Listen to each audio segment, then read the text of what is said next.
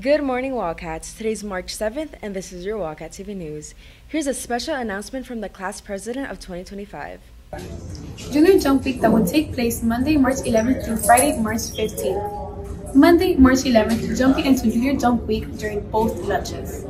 Tuesday, March 12th, Junior Ring Ceremony, 6.30 p.m. in the auditorium.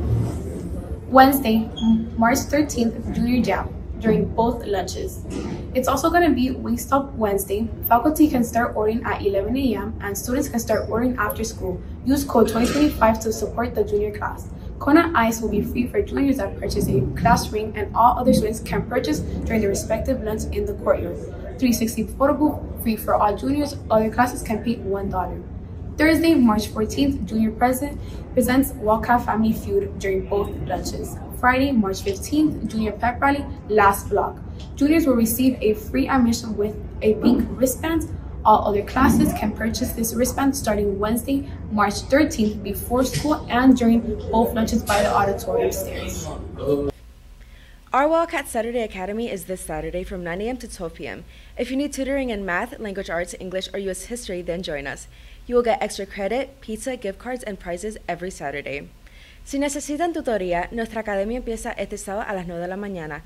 Habrá pizza, premios y mucho más. También hay la opción de recibir extra crédito.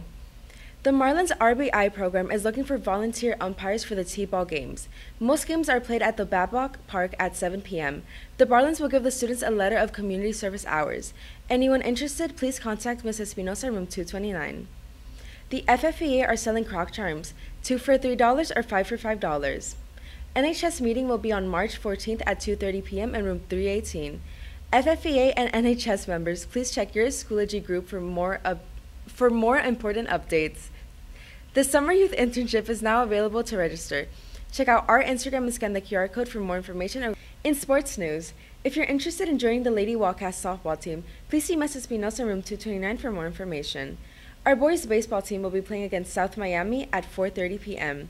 The boys volleyball team will be playing against North Miami in our gym at 3:30 p.m. So make sure to support our opening game.